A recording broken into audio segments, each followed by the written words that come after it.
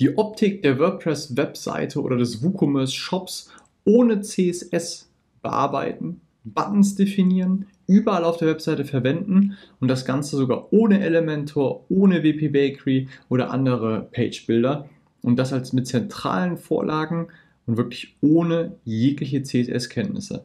Das Ganze geht extrem einfach, man kann Effekte anwenden und und und. und ich zeige es jetzt gleich live im Hintergrund, wie man wirklich seine Webseite optisch verschönern kann, Elemente sogar zentral bearbeiten kann. Zum Beispiel alle Überschriften sollen jetzt so aussehen, alle Buttons sollen jetzt so aussehen. Also die Funktion, die eigentlich ein Theme übernehmen sollte, kann ich zusätzlich nochmal separat, komplett unabhängig vom Theme, vom Template, was ich nehme, vom Layout, unabhängig davon selbst einrichten und halt auch nochmal Einzelelemente einfach im Frontend von der Webseite bearbeiten. Und das geht ganz, ganz einfach. Nicht umsonst ist dieses Plugin, was ich hier vorstelle, einer der absoluten Bestseller bei Code Canyon, bei dem weltweit größten Markt für Plugins, Themes und alles äh, drumherum. Und es ist auf jeden Fall kompatibel mit jeder WordPress und WooCommerce Installation, die sauber aufgesetzt ist. Und wie das Ganze aussieht, zeige ich euch jetzt. Ich mache mich erstmal hier klein, so, und dann seht ihr es auch schon im Hintergrund, dass man entsprechend einfach Sachen hier anwählen kann. Ich habe das Plugin installiert. Hier ist es eine Live-Demo ähm, und ich sehe halt entsprechend, in welchem Template ich mich befinde. Und ich habe die Möglichkeit, ähm, ja, hier oben rüber, das Fenster kann man auch verschieben, jetzt einfach Elemente hintereinander weg auszuwählen. Zum Beispiel, er erkennt automatisch, dass seine Überschrift, ein Heading, wir in, wer ein bisschen HTML kann, weiß, es gibt H1 bis H6 und er kennt das automatisch und dann kann ich einfach sagen, ich schiebe mich mal gerade dahin, kann ich, oder in die Mitte. So, und dann kann ich einfach sagen, okay, das ist ein Text, das ist ein Heading und ich möchte die Farbe aber anpassen. Die soll überall so sein. Und ihr seht, es verändert sich live. Und das zählt dann für alle Headings, wenn ich das so möchte. Dann kann ich sagen, eine Decoration möchte dazwischen haben und ich möchte auch, äh, das, ich mache es mal ein bisschen kitschig einfach und ich möchte das Ganze als, ähm, ja, äh, als Überschrift stylen. Ich mache es jetzt wirklich, übertreibe es mal einfach. Ne? Damit ihr einfach seht, wie, wie das Ganze aussehen kann. Ich kann sogar hier die Schrift in entsprechende Spalten trennen. Also auch ganz verrückte Sachen kann man damit machen.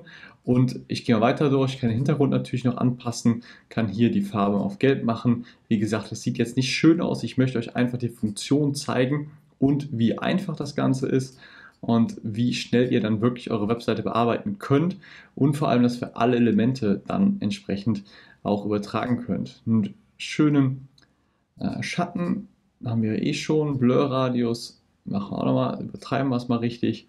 So, und wir können auch sagen, dass wir Animation haben wollen, Push. So, und dann können wir sagen, wie, wie schnell oder wie langsam die geht. Ich nur Play mache. Jetzt ist etwas langsamer. Das ist auch schön. Kann ich Filter machen. Ich kann das Ganze aufblören. Ich kann es schwarz-weiß machen. Ich kann es invertieren. Sepia und, und, und. Ich kann es heller machen. Also auch das ist alles hier mit sehr, sehr coolen Effekten möglich. Extras habe ich noch, das ist jetzt so ein bisschen, geht sehr in die Technik rein, aber ich kann zum Beispiel sagen, was passiert, wenn ich mit der Maus drüber fahre. Ähm, dann habe ich hier zum Beispiel jetzt den, äh, das kann ich jetzt gerade nicht simulieren, aber zum Beispiel das Hilfesymbol und, und, und. Und das kann ich natürlich mit allen Elementen hier so machen. Ich gehe mal einfach weiter. Ich finde der Button hier, der gefällt mir nicht. Also nehme ich den Button und sage, der Button soll jetzt auch entsprechend mit der Farbe sein. Und der Button soll einen Hintergrund haben in der Farbe. Und ja, kann jetzt einfach halt bearbeiten. Ich denke, das ist klar. Die Möglichkeit ist halt, dass ich die Schrift bearbeiten kann, Farben, ich kann die Größen ähm, äh, verändern, ich kann das Ganze halt überschreiben, ohne dass ich ins CSS rein muss, ohne dass ich vom Theme, von Plugins abhängig bin und ich kann wirklich die gesamte Seite einfach so durchgehen. Und hier unten sieht man das vielleicht, ich, ich verschiebe mich nochmal gerade hier, in welcher ähm, HTML-Region ich mich befinde. Das heißt, auch hier hat man so einen Baum und kann letzten Endes sehen, wie ich mich ähm, bewege. Zum Beispiel kann ich auch Spalteneinstellungen komplett manipulieren, was auch ganz interessant sein kann, das Padding einer von allen Spalten zu verändern. Ähm, ist auch gefährlich, man kann dadurch sehr, sehr viel kaputt machen, aber es ist wirklich sehr, sehr einfach hier rüber dann entsprechend wirklich die Elemente im Style per CSS zu verändern. Das, hier sieht man das Ganze, was jetzt in den paar Sekunden passiert ist, was ich gemacht habe. Und man kann das Ganze halt hier auch nochmal entsprechend ähm, selber, wenn man ein bisschen CSS kann, hinterlegen. Responsive Mode auch sehr praktisch, kann ich sofort entsprechend hier schauen, wie sieht es auf anderen Geräten aus, kann da nochmal gucken und ich habe die Möglichkeit, dass diese Animationen entsprechend auch ähm, hier nochmal laufen zu lassen. Das heißt, wenn ich jetzt eine Website habe mit vielen Animationen, weil ich diese, diese Spielerei gerne haben möchte, dann ist das halt sehr, sehr schön auch hiermit simulierbar. Den Link zu dem Plugin findet, wir, findet ihr wie immer unter dem Video. Es ist wirklich sehr, sehr einfach zu, ähm, anzuwenden. Es kostet 26 Dollar, da kommen noch 2 Dollar Gebühr und dann habt ihr wirklich eins der Bestseller-Plugins, ähm, die es wirklich hier gibt.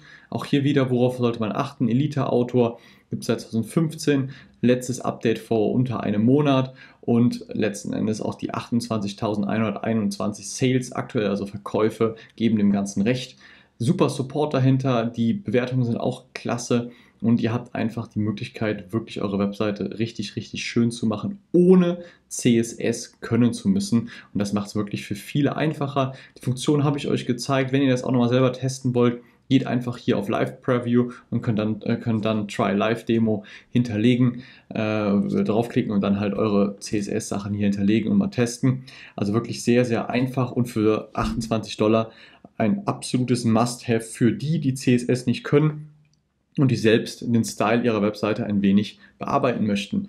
Das soll es von mir gewesen sein. Wenn ihr Hilfe braucht, wenn ihr Fragen habt oder wenn ihr einfach auch eure Webseite aufhübschen möchtet, aber kommt nicht weiter, dann meldet euch gerne bei mir.